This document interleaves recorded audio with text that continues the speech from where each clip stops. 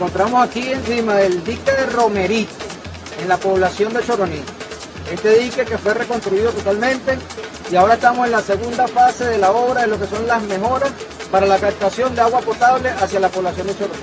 El Ministerio de Agua con el Hidrocentro, todo el equipo de trabajadores desplegado. Estamos instalando 600 metros de tubería después de la construcción de este dique que va a mejorar lo que es la captación del servicio de agua potable hacia el pueblo de Choroní. Esto como una respuesta más de Sino por Bien de Buen Gobierno. Herramienta que el presidente Nicolás Maduro nos ha dado para llevar la suprema felicidad a cada uno de los rincones de todos nuestros municipios y el apoyo constante del ministro Marco Torres del Ministerio de Agua para que todas estas políticas se desplieguen y se concreten. La hidrológica del centro del Ministerio de Agua seguimos dando respuestas concretas a la población.